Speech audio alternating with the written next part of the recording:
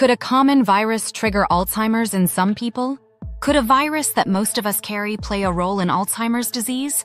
Researchers have uncovered a surprising connection between a chronic gut infection caused by cytomegalovirus, or HCMV, and a specific subtype of Alzheimer's disease.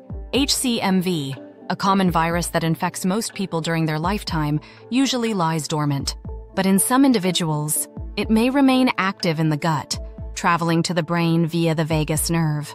Once there, the virus interacts with immune cells called microglia, triggering inflammation and molecular changes linked to Alzheimer's, including the hallmark amyloid plaques and tau tangles. In this study, researchers analyzed tissues from Alzheimer's patients and identified HCMV in their intestines, vagus nerve, and brain. They discovered that the virus activated microglia to express the CD83 gene, a marker previously associated with Alzheimer's. Using brain cell models, they demonstrated how the virus contributes to neuronal damage, increased amyloid production, and tau phosphorylation, processes directly linked to Alzheimer's progression. What makes this research groundbreaking is its potential to identify a biologically unique subtype of Alzheimer's that may affect 25% to 45% of cases.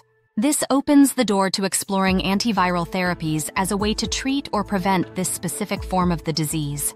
Researchers are now developing a blood test to identify people with active HCMV infections and hope to integrate this with emerging Alzheimer's diagnostics. While more studies are needed to confirm these findings, this research highlights the role infections can play in neurodegeneration.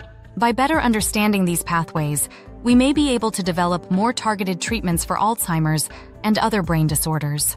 This video is based on the research paper Alzheimer's disease-associated CD83 plus microglia are linked with increased immunoglobulin G4 and human cytomegalovirus in the gut, vagal nerve, and brain by Ben Readhead et al. in Alzheimer's and Dementia.